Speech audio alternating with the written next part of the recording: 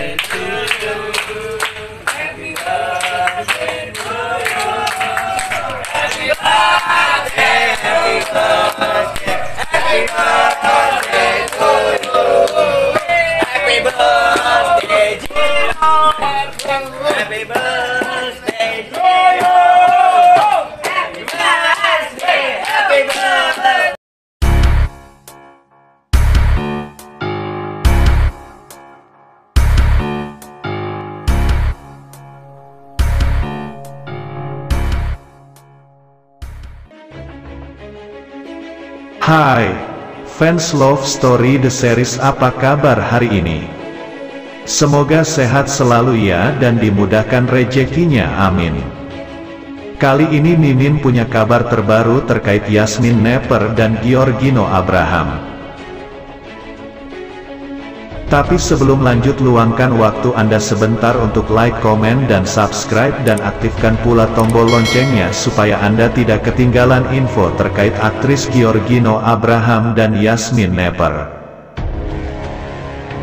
Selamat menonton! Marilah kita simak bersama-sama. Yasmin Nepper mengaku tidak bisa tidur saat malam pertama dengan Giorgino Abraham.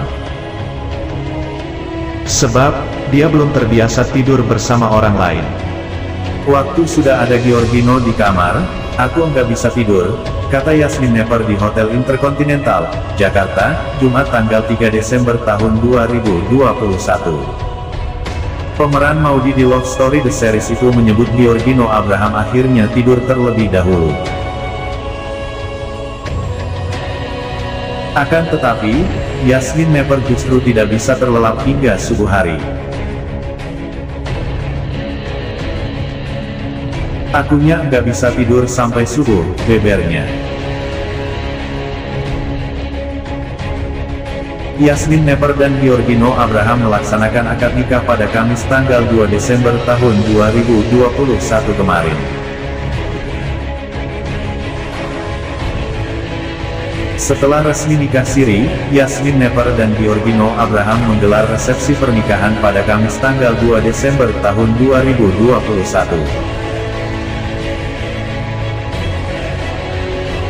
Itulah berita terbaru yang pertama. Yuk simak kembali berita terbaru yang kedua.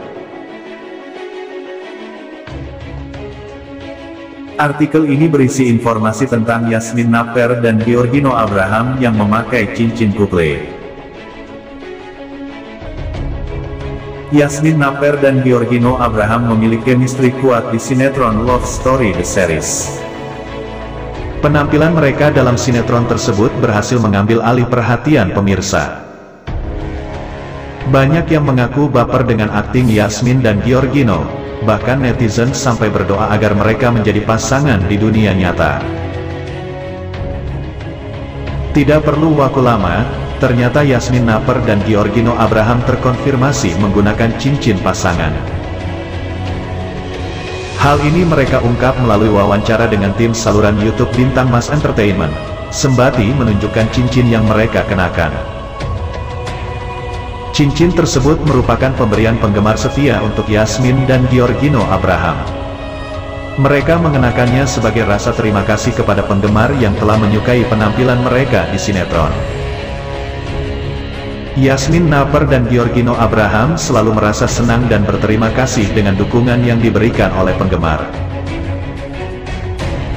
Keduanya bahkan tidak keberatan apabila dijodoh-jodohkan oleh fans dengan satu sama lain, karena Yasmin Napper dan Giorgino Abraham menganggap hal tersebut sebagai bentuk dukungan. Yasmin Napper dan Giorgino Abraham sekarang ini tengah disibukkan dengan syuting sinetron Love Story The Series. Giorgino Abraham dan Yasmin Napper dikenal publik sebagai pasangan yang manis melalui sinetron Love Story The Series. Banyak momen mesra yang ditunjukkan Giorgino Abraham dan Yasmin Napper baik di layar sinetron ataupun di luar sinetron. Keduanya bahkan saling mengucapkan ulang tahun satu sama lain, bahkan Giorgino Abraham memberikan kejutan spesial untuk lawan mainnya di sinetron Love Story The Series tersebut. Ternyata, Yasmin Naper bukanlah seseorang yang paling spesial untuk Giorgino Abraham. Buktinya Yasmin, tidak menerima potongan pertama kue ulang tahun dari Giorgino Abraham. Potongan peratan tersebut lebih Giorgino utamakan untuk ibunya daripada teman-teman dekatnya sekalipun. Hal ini tentunya sudah menjadi sesuatu yang pasti untuk Giorgino Abraham, karena tanpa seorang ibu tidak akan ada sosok Giorgino Abraham di dunia ini. Keluarga Giorgino Abraham termasuk keluarga yang harmonis. Seringkali keluarga Giorgino mengunjungi lokasi syuting sinetron Love Story The Series untuk bertemu Giorgino. Sementara itu, Yasmin Naper ucapkan selamat ulang tahun untuk Giorgino Abraham di unggahan Instagram pribadinya.